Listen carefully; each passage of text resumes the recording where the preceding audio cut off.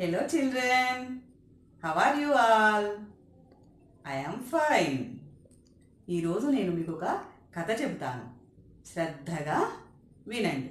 ఆ కథ పేరు కష్టే ఫలి కష్టే ఫలి శ్రద్ధగా వినండి. ఓకేనా పిల్లలు? అనగనగా ఒక ఊరు. ఆ ఊరు పేరు రామాపురం. రామాపురంలో రాము గోపి అనే ఇద్దరు స్నేహితులు ఉండేవారు. ఇద్దరి ఇల్లు పక్కపక్కనే ఉండేవి. వారిద్దరూ కలిసిమెలిసి ఉండేవారు.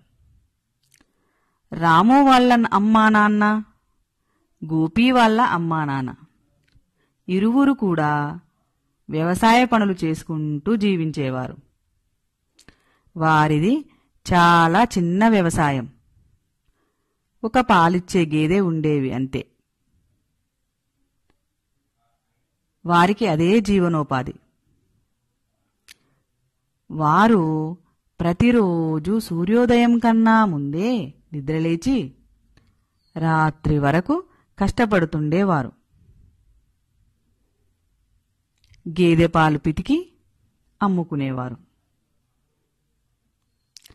రాము గోపి బడికి వెళ్ళేవారు. రాము వాళ్ళ అమ్మా నాన్నలు కష్టపడుతుండడం చూసి తాను కూడా వాళ్ళ పనుల్లో సహాయం చేసేవాడు.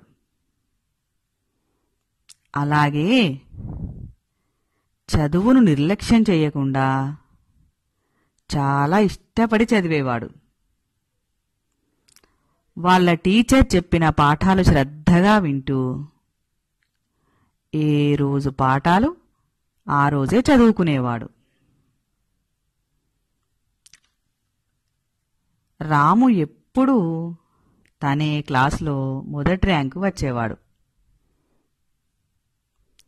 గోపి మాత్రం అమ్మా నాన్నలు ఎంత చెప్తున్నా వినిపించుకోకుండా ఆటలతో కాలక్షేపం చేసేవాడు.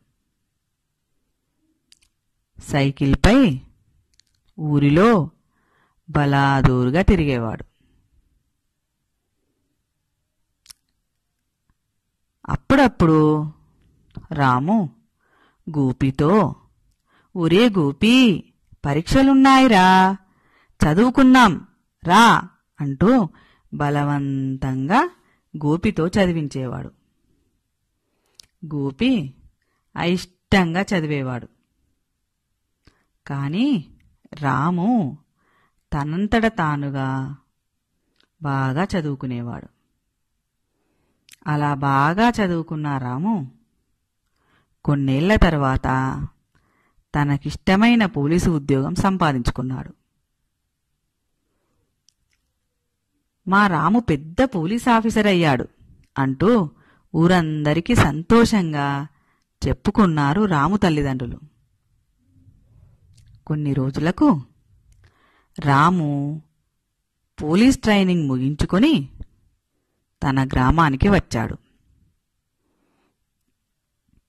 అమ్మా నాన్నలతో ఇక మీరు కష్టపడద్దు. మీరు ఇప్పటికే చాలా కష్టపడ్డారు. నన్ను చదివించారు. ఇక ముందు నేనే మిమ్మల్ని బాగా చూసుకుంటాను అన్నాడు. అమ్మా నాన్నలు కూడా చాలా సంతోషించారు. వారితో కబుర్లు చెప్పి కొంతసేపటికి అమ్మా నేను గోపి వాళ్ళింటికి వెళ్ళి వస్తాను. గోపిని కలిసి వస్తాను అని చెప్పి గోపి వాళ్ళింటికి వెళ్ళాడు. రామును చూడగానే గోపి ఆనందంగా ఏరా రాము ఎలా ఉన్నావు? ఎప్పుడు వచ్చావు? పోలీసు ఉద్యోగం వచ్చిందట కదా.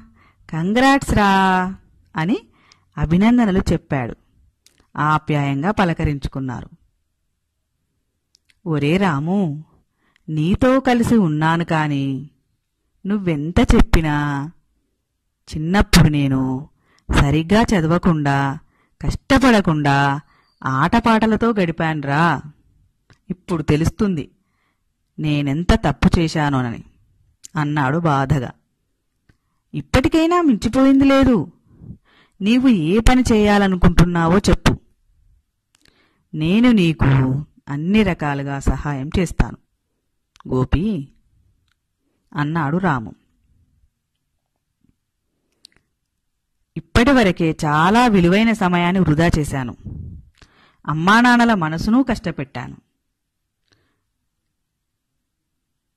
ఇప్పటికైనా నేను మారి అమ్మానాన్నలతోనే ఉంటూ వారికి ఏ కష్టం కలగకుండా చూసుకుంటాను. అందుకే మన ఊరిలోనే కిరాణా షాప్ పెడదామని అనుకుంటున్నాను. అన్నాడు గోపి. అయితే ఇక ఆలస్యం ఎందుకు? ఇద్దరం కలిసి పానులన్నీ ప్రారంభించుకుందాం రా గోపి అని రాము అన్నాడు.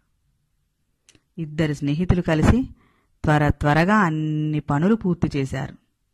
కిరాణం షాపులో కావలసిన సరుకులతో సహా అన్నీ సిద్ధం చేసుకున్నారు. దుకాణం ప్రారంభోత్సవానికి సర్పంచిని గ్రామ పెద్దలను ఆహ్వానించాడు గోపి.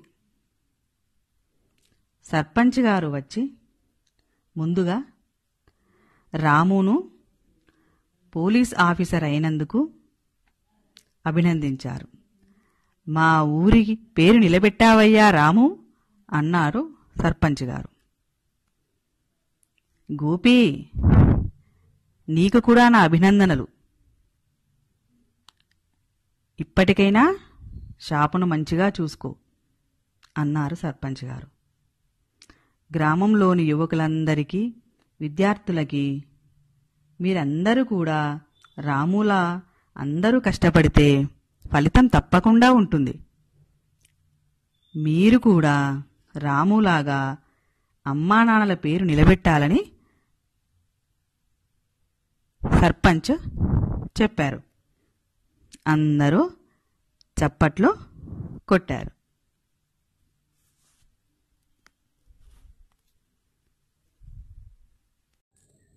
పిల్లలు మీరు ఇంతసేపు నేను చెప్పిన కథ విన్నారు కదా?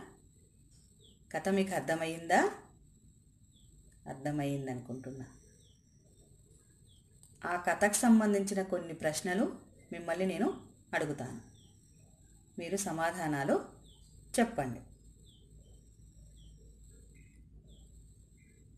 ఈ కథలో ఇద్దరు పిల్లలు ఉన్నారు కదా. ఎవరు? రాము గోపి. వాళ్ళ అమ్మా నాన్నలు ఏం చేసేవారు? వెరీ గుడ్ వ్యవసాయం చేసేవారు. రాము ఎలా చదువుకునేవాడు? బాగా చదువుకునేవాడు. మరి రాముకు ఏ ఉద్యోగం వచ్చింది? ఏ ఉద్యోగం? పోలీస్ జాబ్ వచ్చింది. గుడ్. మీకు ఈ రాము గోపి ఈ ఇరువురిలో మీరు ఎవరిలాగా ఉండాలనుకుంటున్నారు? ఎందుకని?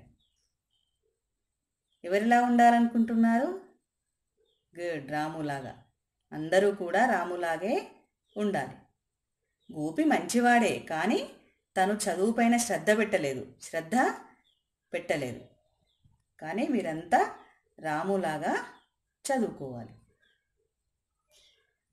మరి మనం ఇంతకుముందుకు చెప్పుకున్న కథలోని నీతి ఏమిటి? కష్టపడితే ఫలితం ఉంటుంది. కదా?